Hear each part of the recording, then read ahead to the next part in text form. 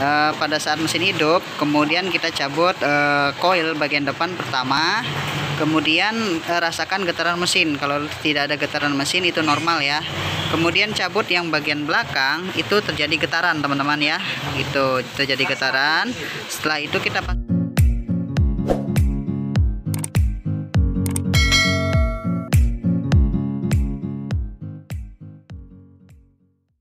Halo assalamualaikum warahmatullahi wabarakatuh sahabat kembar sahabat otomotif sahabat YouTube. Di mana pun sahabat berada papi doakan semoga sahabat diberikan kesehatan jasmani dan rohani selamatan dunia dan akhirat serta dilancarkan selalu rezekinya amin. Oke sebelum lanjut ke videonya buat teman-teman yang baru hadir baru gabung jangan lupa di subscribe Kemudian apabila teman-teman suka dengan videonya, tinggalkan like. Kemudian komen yang positif ya teman-teman ya. Uh, supaya Papi nanti tambah semangat lagi untuk berbaginya. Nah, di sini Papi mau ngecek Honda City IDSI ya. Ini kan menggunakan coil 8 teman-teman. Jadi kita cek uh, bagaimana mengetahui bahwa coil itu mati atau businya mati ya ini uh, dengan kendala mobil agak berebet ya. Agak berebet. Ini setelah bongkar deksel ini kita lakukan. Hari ini sudah selesai. Kemudian uh, mesin kita hidupkan ternyata masih ada getaran yang tidak normal ya. Jadi masih sedikit pincang. Oke kita coba hidupkan mesinnya teman-teman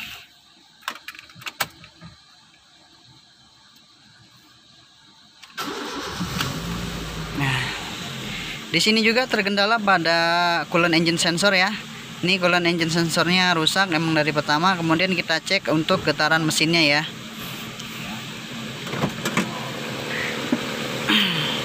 Ini Honda City IDSI tahun 2004-an. Ini kita lakukan cara pengecekan pertama pada coil 8 ya. Ini coilnya ada 1 2 3 4, kemudian bagian belakang sini ada 4 ya, teman-teman ya. 1 2 3 4 nah ada 8 langkah awal pertama kita lakukan untuk penyopotan pada busi nomor uh, soket coil pada nomor satu ya. Kita coba soket coil nomor satu. Nah ini kan masih agak pincang teman-teman ya. Masih agak pincang. Kemudian kita lepaskan bagian soket yang coil nomor satu di belakang. Nah ini terjadi pincang teman-teman. Jadi kita lakukan untuk pemasangannya untuk pengecekannya kita pasang yang bagian uh, soket nomor satu. Nah ini normal lagi dia mesinnya teman-teman ya. Jadi kerusakannya bukan di coil nomor satu.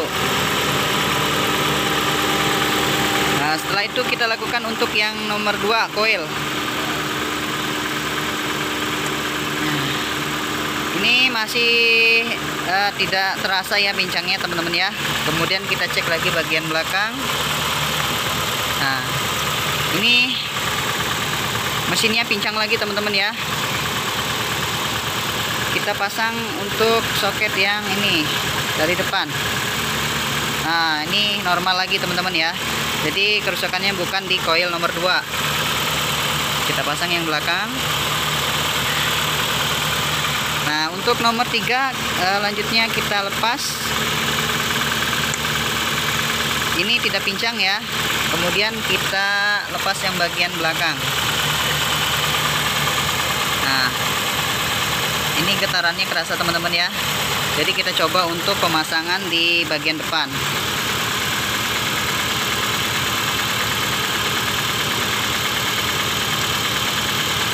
Nah ini ya ini bagian tiga masih getar.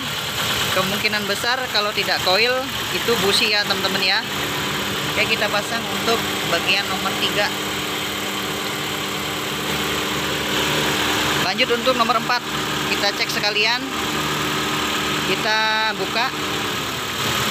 Nah ini pincang juga nih. Kemungkinan besar busi nomor 3 sama nomor 4 teman-teman ya ini karena kemarin nggak ganti juga businya. Oke kita coba pasang yang ini.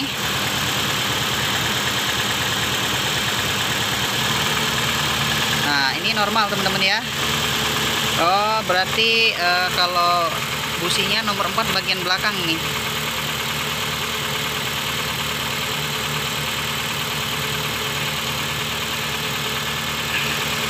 Oke kita coba untuk ganti busi uh, pada koil nomor 3 ya. Oke lanjut teman-teman ya. Oke kita ganti businya dengan yang baru ya. Oke kita uh, coba lanjut ceknya kembali ya. Ini kita lepas kemudian bagian belakang kita lepas. Ini dosa pincang ya. Ini pincang ya. Kemudian kita pasang. Nah, ini udah normal ya teman-teman ya.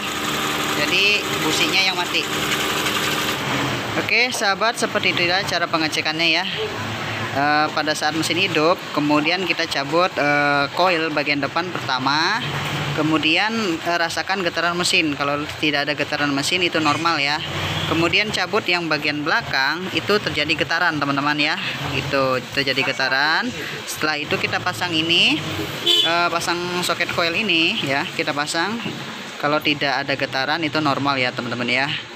Oke ini udah diganti satu rencananya mau diganti semua ya businya. Oke nanti kita ganti semua teman-teman ya. Oke itulah infonya dan caranya untuk pengecekan coil pada Honda City uh, eh, IDSI kemudian Honda Jazz juga ya. Uh, tahun lama yang menggunakan 8 8 coil 8 coil 8 busi ya. Seperti itu ya teman-teman ya. Oke, di sini infonya sudah Papi berikan. Semoga bermanfaat buat teman-teman semua yang baru gabung jangan lupa like uh, subscribe share dan komen ya. Semoga video papi kembar ini bermanfaat. Assalamualaikum warahmatullahi wabarakatuh. Mantap malam ini sudah selesai guys